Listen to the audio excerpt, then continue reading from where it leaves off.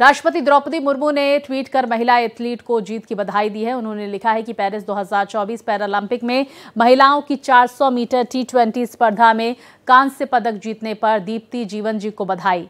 राष्ट्रपति की तरफ़ से आगे लिखा गया है कि उन्होंने कई प्रतिकूलताओं का सामना करते हुए दृढ़ता और समर्पण का परिचय दिया है। उन्होंने आगे कहा कि मैं भविष्य में उनकी और और भी अधिक उपलब्धियों की कामना करती हूँ।